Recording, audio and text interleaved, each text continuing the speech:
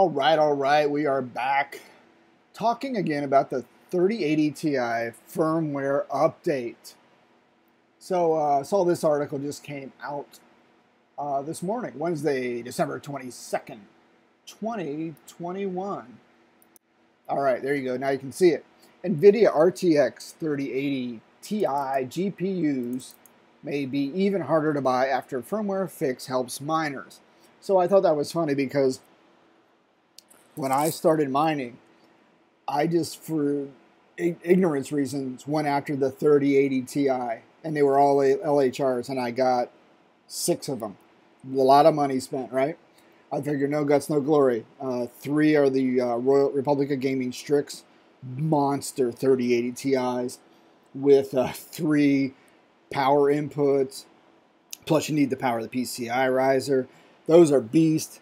Uh, and they burn some they burn some watts, man. They are watt eaters. But um, and I got three other ones. I think I got gigabytes and EVGA, and they run clean, and they all run about the same hash. About get this, they all run high 80. So let me look right now. I think I'm about 88, 89, uh, running hash right now using T-Rex Miner. If we can get that up, there we go.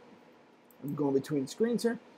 I am on T-Rex Miner 0.24.7 and we are pushing uh, 88 88s across the average. Yeah it's up and down it's up and down plus or minus 2 uh, power consumption's uh, hovering about 290 watts. Yeah 290 watts and the uh, LHR rate that the uh, T-Rex miner has decided to use is 72.5 yeah, there you go. Uh, what are we doing here? I have been up and running for six days, 12 hours and 33 minutes. Look at that. So there you go. There's my stats. And running, like I said, running a T-Rex miner, core clock setting to keep those puppies in line. And when I did that, they uh, consumed a little less wattage, and the, and they they they blessed me and gave me some more uh, uh, some more some more mega hash. Yeah, yes, they did. All right, let's get going. So the reason I say that is I bought six of these puppies, right? And I felt bad. It's like, oh my god, I spent all this money on these cards that are um, restricted with this LHR thing. What did I do? What do I do? I sell them on eBay and lose money. I don't know. I had these ROG Strix things, and those things are huge 30, 80 Ti's. They're beasts. They are. I don't know how people put them in PC cases. Yeah. So anyway, I kept them. I hooked them up and they became my full purebred, purebred like a pure blood 3080 Ti rig machine, baby. It's out there running like I just showed you. So I'm glad I kept them, and the reason I'm glad I kept them is when I see articles like this with this firmware update. Yeah, so I'm pleased, but I am already getting high 80s with T-Rex Miner and my overclock settings so I'm confused about why this. I'm really lost a little bit. Maybe someone can explain it to me. They're saying that um, the uh, EVGA pushed out the new firmware for its 3080 Ti XC3 graphics card, an update that can potentially be applied to other 3080 Ti models from different card makers, albeit riskily. Yes, very risky when you start frying the BIOS with new firmware.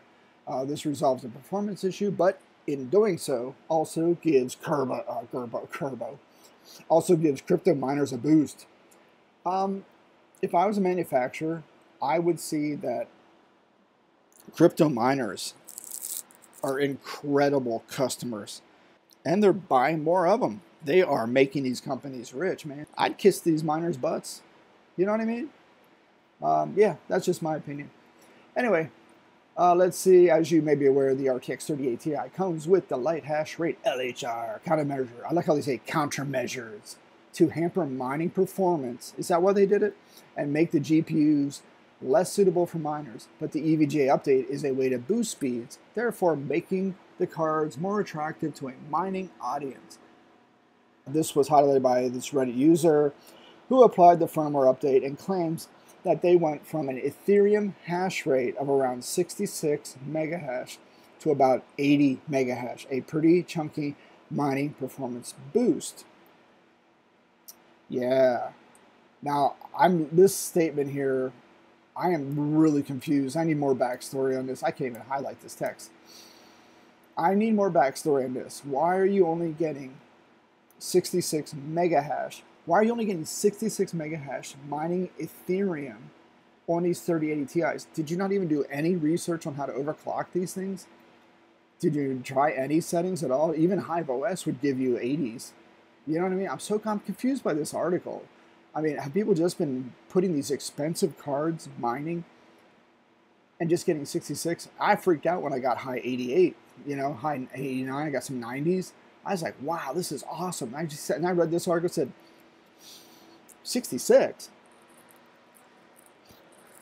What the heck is that about? Someone needs to explain that. Why are people getting 66? And aren't they using their brain and Googling like how to get better hash rates on these 3080 Ti's? Yeah, I don't know. Just I just think even plug it into T-Rex miner, letting it rip, you're going to get better than 66. So anyway, so I'm confused. I am I am so confusion by that. These cards are going to become more popular, and you can't get cards anyway right now, right? Because Nvidia's kind of limiting the supply, and then they're doing back end deals to influencers. So if you ain't in the club, which you most likely aren't, you're not going to get your cards, or you're going to pay more than MSRP. So it's a big club and you ain't in it. I've been mulling over buying one of these RTX 3080 Ti's. Their price is attractive, but I was hesitant due to the LHR limit. It's really encouraging seeing new unlocks coming out for these cards. Okay. I don't know. I think he's one of these. Uh, this comment right away, knowing crypto mining, this poster, it sounds like he's paralyzed by overanalysis.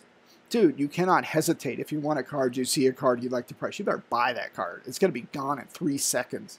You know what I mean? So I kind of kind of call BS on that statement. And I, I'm still calling BS on this 66 to 80. Why are you getting 66? I'm an idiot. I just started mining.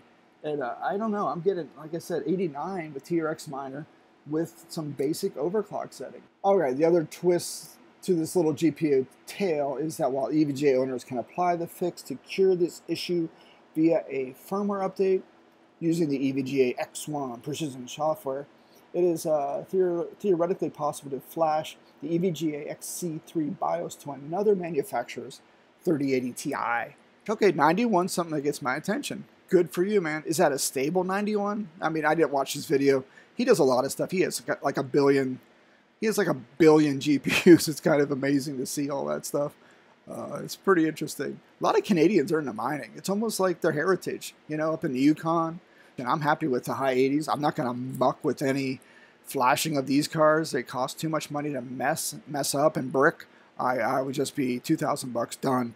Oh yeah, that said, messing with the BIOS like this in a 30 Ti from another manufacturer is pretty dangerous territory and anyone who isn't seriously clued up on what they're doing is probably more likely to end up with a brick GPU than a more performant card.